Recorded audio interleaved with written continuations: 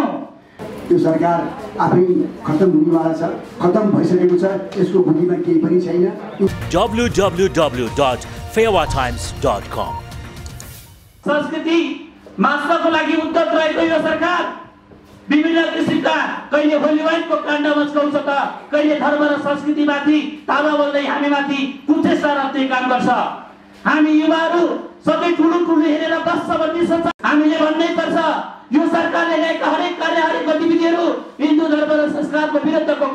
भन्ने कुरा हो हाम्रो ठम्माइ छ। धर्म र संस्कृति भूमाफियाको इसारा बनाएर यतिखेर कुटी मास्ने नीति आएको छ।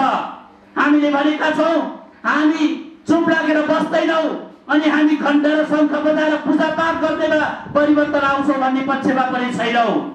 यो सरकारलाई हामीले भन्न चाहन्छौँ सरकार यदि तिम्रो खैटोमा घाम लागेन भने तिमीलाई त्रिशुल र त्रिशुल र डम्बरू बजाउँदै त्रिशुल हातमा लिएर हामीले शान्तिपूर्ण ढङ्गले लखाड्न पनि हामी हिन्दू युवाहरू सक्षम छौँ। हामीले यही क्रममा यतिखेर हामीले भनेका छौँ सरकारले हामीले चुप लागेर बस्यो अनि चुप लागेर टोली टोली खेलिरहेको छ भन्ने भ्रम यतिखेर पालिरहेको भए यो वर्तमान सरकारको भुल हुनेछ। या दम्ब र घमण्डले कोही पनि टिक्दैन चाहे त्यो जालीय राणा शासन होस् त्यसपछिको पञ्चायती व्यवस्था होस् अथवा त्यसको कालखण्डमा आएका अरू शासकीय व्यवस्थाले पनि छौँ र दस गति उपत्यका बन्दको कार्यक्रम पनि हामीले घोषणा गर्दै छौँ र यसको प्रेस विज्ञप्ति अहिले पछि यहाँलाई वाचनको बिचमा कार्यक्रम घोषणा हुनेछ। हामीले सनातन धर्म संस्कृति संरक्षण र संवर्धन गर्ने कार्यमा हाम्रो प्राण र प्रतिष्ठासँग जोडिएको यो संस्कार यो पद्धतिलाई हामीले ढङ्गबाट अगाडि बढ्न दिँदैनौँ। यदि गलत ढङ्गबाट कसैले अगाडि बढ्ने प्रतिष्ठा गरिन्छ भने हामी सानो वा ठुलो वा थोरै र धेरै भन्दैनौँ सुनेको छु। साँच्चै नै भ्रष्टाचार अभियन्ता ज्ञानेन्द्र साईले भन्नुहुन्थ्यो मैले पनि सुनेको थिएँ उहाँका कार्यक्रममा म पनि सभा लिने अवसर पाएको थिएँ। उहाँ भन्ने गर्नुहुन्छ संस्कार र संस्कृति थोरै र थोरै हुँदैन अनि भ्रष्टाचारमा अभियन्ता पनि धेरै थोरै हुँदैन। सुरु गर्ने बिउ हौ तपाईँ हामीले बिउ राखेर अगाडि बढ्यो भने यी धेरै विश्रान्तिहरू यो धर्म संस्कृति बाँच्ने तत्त्वहरू आफैमा नष्ट भएर जानेछ। यही विश्वासका साथ तपाईँ सम्पूर्ण उपस्थित रहेका महानुभावहरूलाई एकपटक पुनः हृदयदेखि नै हार्दिक स्वागत गर्दै यो कथित गुठी विवेक ऐनको विरुद्धमा तपाईँ सम्पूर्णको साथ र सहयोग हुनेछ भन्ने विश्वासघात बिना हुन चाहन्छु ओम नमः शिवाय यो नेपाल सरकारले अहिले जति पनि विधेयकहरू ल्याइराखेको छ खास गरी हेर्ने हो भनेदेखि यो नागरिकता विधेयकदेखि लिएर सञ्चार विधेयक हुँदै यो गुठी विधेयकसम्म आइपुग्दाखेरि यो सरकार चाहिँ यति कमजोर र यति अपरिपक्व रहेछ भन्ने कुरा हामीले देखिसक्यौँ अब यो सरकारको त जतिसुकै कुरा गरे पनि सकिँदैन। अघि भर्खरै चर्चा भयो होली वाइनको। त्यतिखेर पनि एउटा विवादित युनिफिकेसन चर्च जो चाहिँ क्रिस्चियनसँग आबद्ध विवादित संस्थासँग मिलेर यो नेपाल सरकारले त्यतिखेर सहआयोजक हुने कार्य गर्यो। त्यो कार्यको पनि विश्व हिन्दू महासङ्घले घोर विरोध र भर्सना गर्यो। आखिर सरकारले घुँडा टेक्न पर्यो। सरकारले चाहिँ आफ्नो निर्णय सच्याउन पर्यो। त्यसै गरेर अहिले जुन यो गुठी विधेयक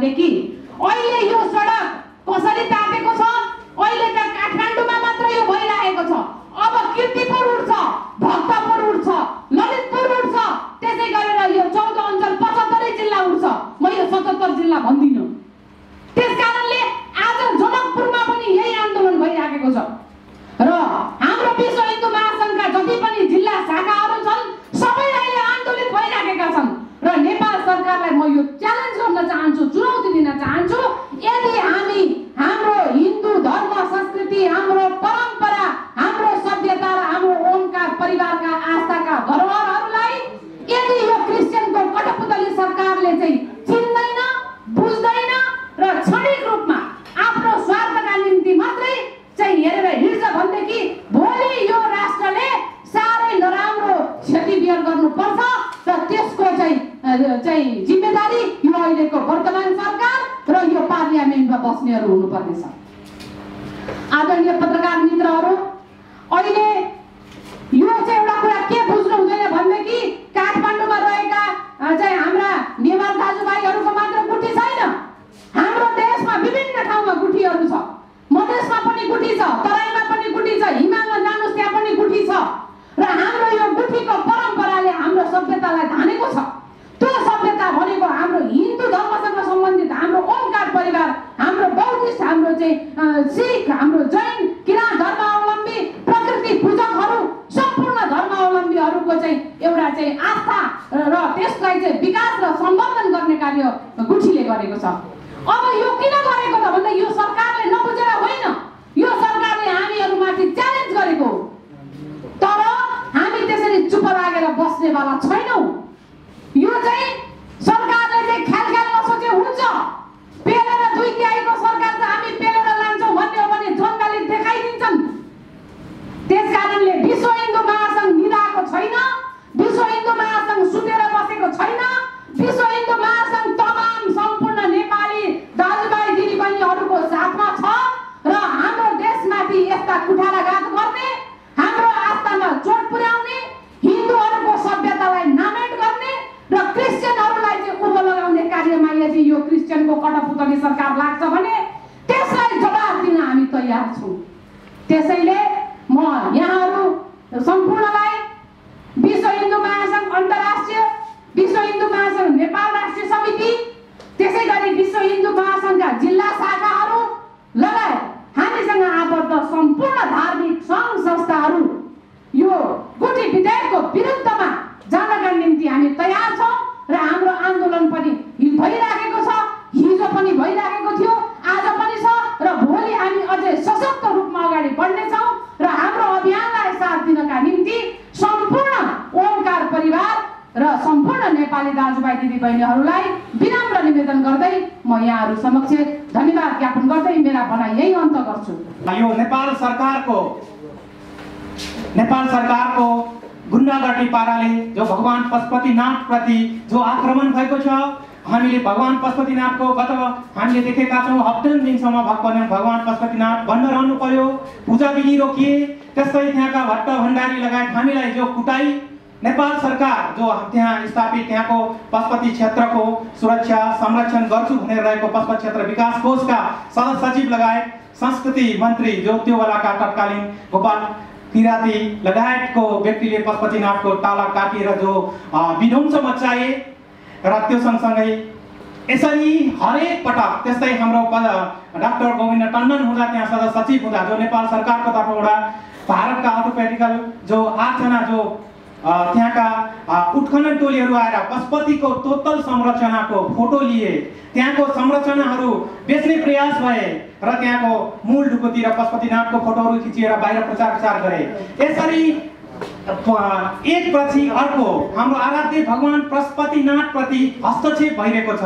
र अहिले पनि हामीले देख्छौँ पशुपतिनाथको जग्गामा जो विशाल क्रिस्चियन चर्चहरू छ र पशुपतिनाथको चारैतिर हामीले वनकाली अ, तिलगङ्गा वनकाली तिलगङ्गा लगायत गुजेश्वरी र चारैतिर चर्चै चर्चले भरिएको स्थिति छ यसरी नेपाल सरकारले साथ दिएर क्रिस्चियन मिसनले हाम्रो हिन्दूहरूको छातीमा लात हानेको स्थिति छ र यो अब हामी चुप्लाएर बस्नेवाला छैनौँ हामी हामी अहिले सम्पूर्ण हाम्रा विश्व हिन्दू महासङ्घ राष्ट्रिय समिति अन्तर्राष्ट्रिय समिति लगायत युवा सङ्घहरू सबै एकबद्धता भइसकेका छौँ। त्यति मात्र अहिले अहिले यही सँगसँगै अहिले गुथी विधेयक नेपाल सरकारले लागू गरेर यहाँको सनातनदेखि आदिकालदेखि धर्म संस्कृति परम्परा र यहाँको जात्रा पर्व जो बचाएर रहेको छ नेपालको एउटा गौरव प्रतिष्ठा जोगाउँदै रहेको छ त्यसप्रति अहिले जो प्रहार भएको छ जो हिंसा भएको छ यो सहनीय छैन।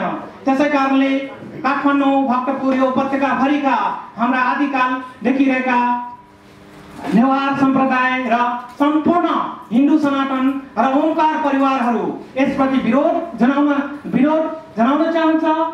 गुठी विधेयक दुई हजार पचहत्तर यो एउटा घातक प्रहार हो। र हाम्रो गुठी विधेयक दुई हजार पचहत्तर यसकाले तुरन्त खारेज गर्नुपर्छ। नत्र हामी पशुपतिनाथ मन्दिरमा जसरी हस्तक्षेप हुँदा हामीले त्यस त्यहाँ हामी सङ्घर्ष गऱ्यौँ र नेपाल सरकारलाई हामी घुँडा टेकायौँ। त्यसरी नै अब हामी विश्व हिन्दू परिषद लगायत छ सम्पूर्ण हिन्दू सनातनहरू एक भएर हामी पशुपतिनाथबाट सङ्घर्ष सुरु हुन गइरहेको छ।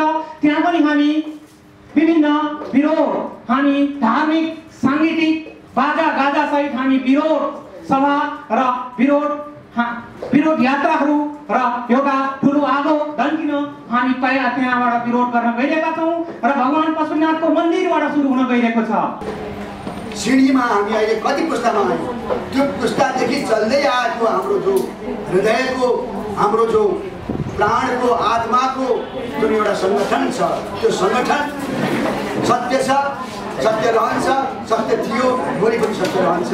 त्यस प्रकारले निर्मित भएको जो गुठी हो त्यो परम्परा हो त्यो हाम्रो गुरु परम्परा हो हाम्रो सम्पत्ति हो हाम्रो प्राण हो हाम्रो हृदय हो हाम्रो आत्मा हो। त्यसै मात्रै त्यसै माथि विक्षेप गर्ने कार्यक्रम अहिले जुन सरकारले भइरहेको छ।